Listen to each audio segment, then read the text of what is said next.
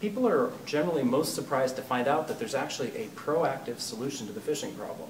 You know, everybody knows about the various things you can do after the phishing message has occurred. You know, you can go after the website, try to get that taken down by a takedown vendor. And in fact, we partner with a bunch of takedown vendors who do just that. Uh, also, you know, you can monitor people's bank accounts so once you think they might have been phished to try to watch for fraudulent activity. But all of that is very reactive. So the surprising thing to most is that there's actually something you could do up front to prevent this. Uh, and, and so once I tell them that, they're very interested in learning more.